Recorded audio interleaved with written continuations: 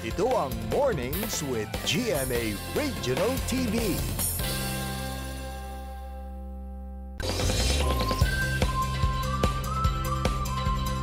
Sa panahon ngayon, sa kabila ng banta ng climate change, ay nakakatuwa ring isipin na padami ng padami ang environmental advocates na gusto makiisa sa pangangalaga ng kalikasan.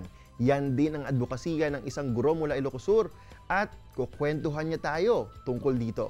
Mga kapuso, Sir Salvador Buddy Pasqua. Okay na. Ayan, naimbaga bigat Sir Buddy and welcome to Mornings with GMA Regional TV. Good morning, Sir Harold, and thank you very much for uh, giving us your time para sa inyong programa. Nako sir, it's our pleasure having you on the show, no? Kumusta naman ho ba ang umaga natin dyan so far sa Ilocosur?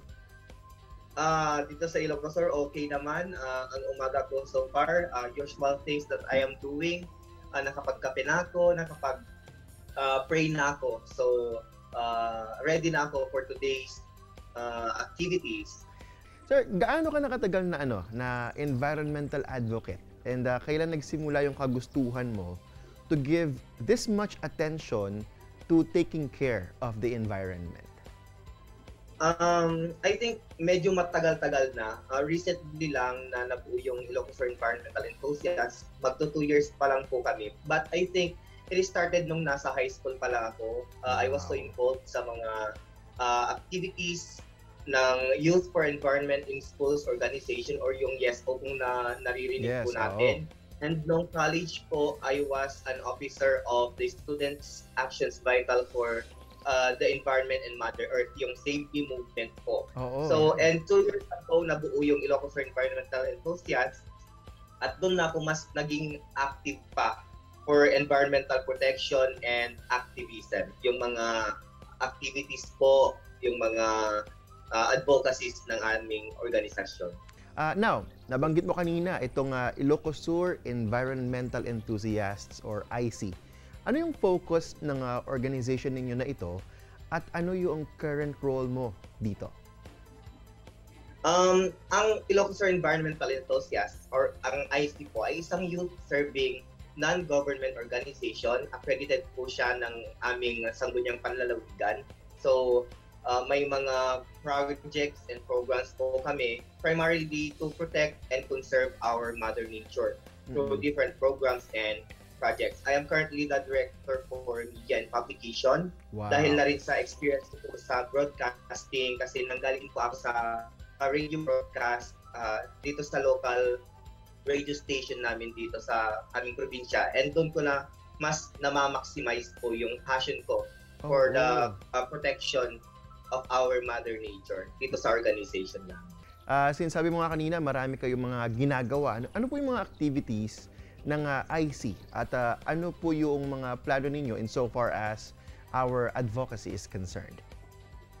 Uh, ang IC po ay maraming programa. Uh, isa-isahin ko lang po kasi talagang marami kam marami po kaming programa pero recently lang we had our assembly of green innovators and leaders academy or yung Agila Mm-mm. this is what we call project Agila this primarily is a training workshop for all our local chapter officers so we also had sa Kibo a seed growing uh, project uh, wherein we collect single-use plastics mula sa mga local milk tea shops dito sa Bigan, around Metro Bigan po. And we also have um, sapling, a tree growing project naman po, kung saan nakikipag-partner kami with the Senro and Penro. Uh, and they are giving us saplings or the small trees para i-distribute namin sa mga barangay, uh, Wow. sa mga LGUs po dito sa aming probinsya. So, ang seed project naman po, meron din kaming seed project or the Strengthening Environmental Education Project Mm-mm. kung saan isinasagawa din namin ah, sa mga barangay para mas maging ah, environmentally aware ang mga tao, ang mga from the grassroots level. Alright. So, ito po yung mga programa ng Ilocos Environmental Enthusiasts. Um, so far, you have been uh, an advocate for a very long time. So far, ano po yung kinoconsider ninyo na biggest achievement mo in taking care of the environment? Um, what I consider as my biggest achievement is to be really part of the solution.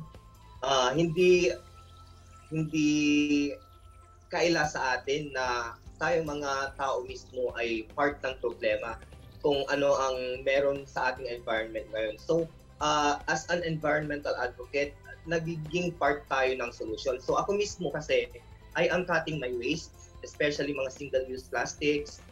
I also bring with me my tumbler anytime na uh, every time na lalabas ako so Mm. para, always para din ako bumili ng uh, bottled water and in that way I'm trying to influence uh, other people around me to do the same sa atin mismo kailangan uh, masimulan natin sa ating mga sarili yung pagbabago para uh, mas malaki ang maging epekto nito magandang epekto nito sa ating inang kalikasan yan lamang Harold Napakaganda, Sir Buddy. At syempre, maraming salamat sa lahat ng ginagawa ninyo para sa environment. And because of what you do, I see a better future for the coming generation. God bless you, Sir Buddy, at ang inyong organisasyon. Mag-iingat kayo palagi.